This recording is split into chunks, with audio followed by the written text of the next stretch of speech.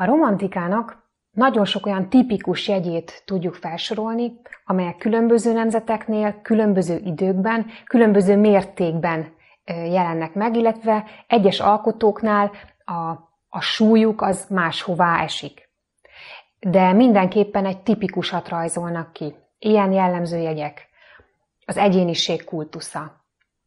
Az embernek, mint individuumnak a megjelenései, a megismételhetetlen, a sajátos embernek a megjelenése a szubjektivizmus, azaz a belső érzékelés által letapogatott világnak a tükrözése.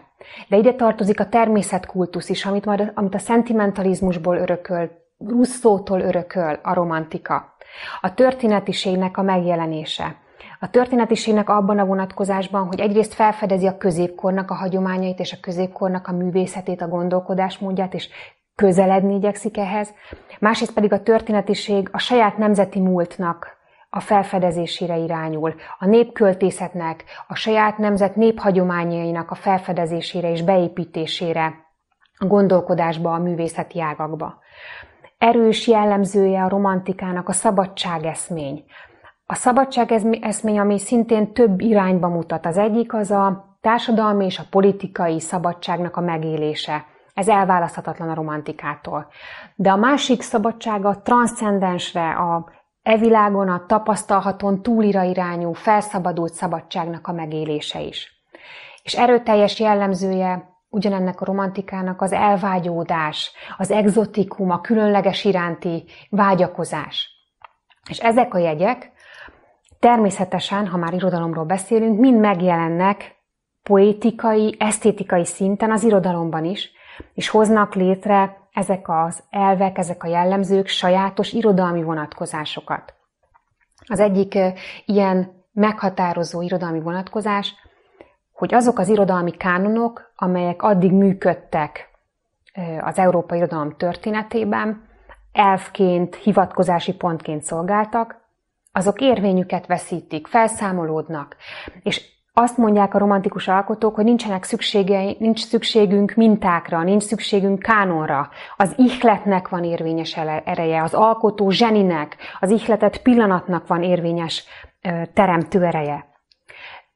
Ezzel együtt fölülírják a formákat. Egészen a romantikáig azt mondhatjuk, hogy az alkotók meghatározott formákba öntik bele az általuk közvetítendő tartalmakat.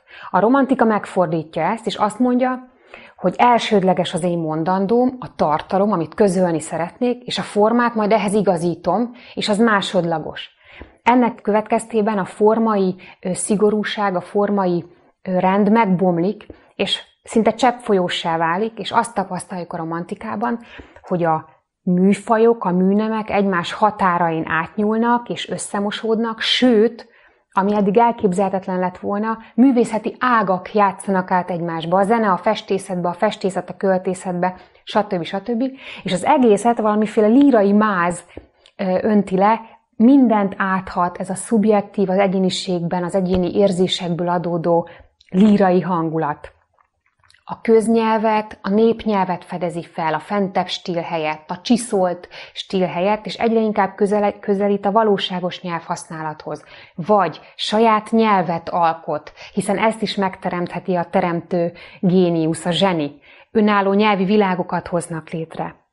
A barokban és a klasszikában használatos allegória helyett, ami kiszámítható, akár mértanilag is leírható, kép helyett a szimbólumot helyezik előtérbe, ami rejtélyes, kibogozhatatlan, mindenki számára más értelmezési árnyalatokat hordozhat magában. És azt mondják, hogy ezzel tudunk kifejezni, mert a kifejezés valójában nem létezik.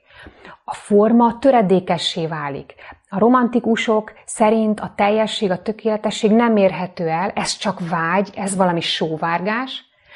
Vagyis, hogyha tükrözni akarom magamból ezt a vágyat, a sóvárgást, és hitelesen akarom tükrözni, akkor a forma nem lehet teljes és tökéletes, hiszen olyan nincs, nem érhetem el. Szándékoltan töredékessé válnak a mondatok, a sorok, a strófák, mint például Puskinnál nagyon szépen lehet ezt látni.